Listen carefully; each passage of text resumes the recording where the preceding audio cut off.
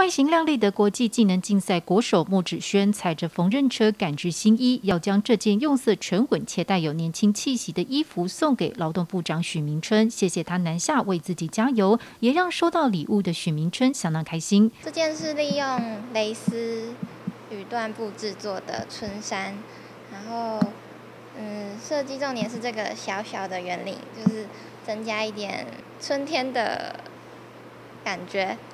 比较有活力，这个袖口的拼接会让看起部长看起来更有精神，然后领子领子看起来也会更加的青春。然后我今天哦下午来看几些献身给他们。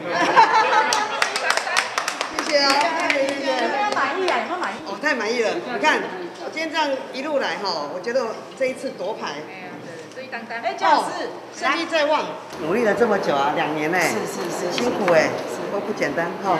事实上，穆芷萱今年该是大四毕业生，为参与世界技能竞赛申请休学，却又遇上疫情，让赛程举办反反复复，求学路因此落后其他同学四年。但因穆芷萱个性沉稳，坚持自己的选择，持续回到高职母校三名加上练习，要剑指十月在芬兰首都复办的世界技能竞赛服装创作项目冠军。我今年应该要大四毕业，但是因为要。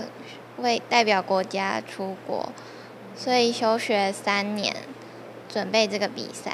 一开始会觉得，嗯，不太能调试，但是后来想说这是自己想要做的事情，所以就是，嗯，排除万难来准备。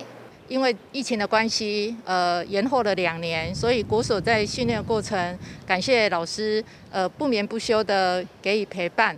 那国手本身稳定性也非常高，所以我们期待他可以为国争光，拿回金牌，为中华民国呃在服装界占有一席之地。我们也感谢部长带领他的团队来一起给我们加油。三名家商服装科不仅在全国技能竞赛服装创作项目六连霸，也持续两年获得国手资格，展现技职教育培育成果。